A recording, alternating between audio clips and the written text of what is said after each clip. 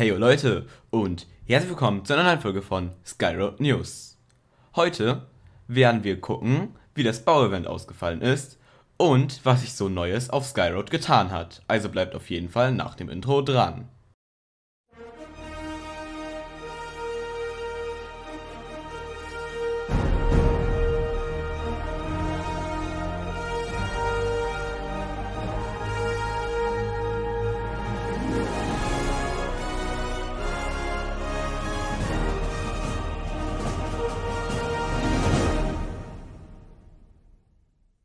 Auf Skyroad hat sich seit der letzten Skyroad News Folge einiges getan zum Thema SV. Denn in der letzten Folge habe ich gesagt, dass Towny rausgekommen ist und ein paar andere Plugins wie das TPA-Plugin. Aber richtig viele haben jetzt ihre Städte in den neuen SV gesetzt bekommen. Das heißt, dass man jetzt auf den Spielstand des alten SVs weiterspielen kann. Zudem kann man sich jetzt Rucksäcke viel leichter craften und auch die Lagersysteme haben sich verändert. Dazu wurde auch noch der RAM des SV-Servers erhöht. Statt 8 GB hat er nun 10 GB. Aber kommen wir auch schon zu den Ergebnissen des Bauevents. Der erste Platz geht an Jacka Niels. Der zweite Platz geht an Sausemaus. Den dritten Platz belegt Sturmgenster. Der vierte Platz geht an Daniel 1111.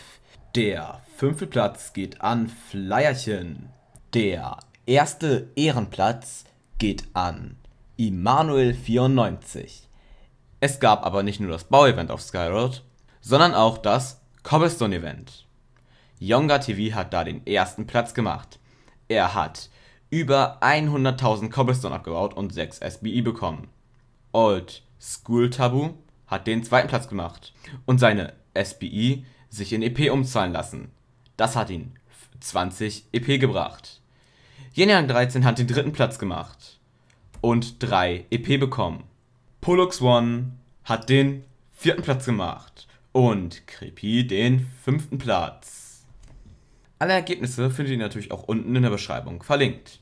Kommen wir jetzt aber zu einer Kleinigkeit, die den Freebuild betreffen. Im Freebuild kann jetzt jeder Spieler mehrere Welten haben, in denen er Sachen baut. Das ist auf jeden Fall sehr gut, weil dann muss man keine Angst haben, dass andere Spieler ankommen und zum Beispiel in der normalen Freebit-Welt das dann griefen oder dass man plot gegrieft wird und so. Aber man kann wahrscheinlich auch, das weiß man nur noch leider nicht, Leute in seine Welt hinzufügen, aber man kann auf jeden Fall die Welten anderer besuchen.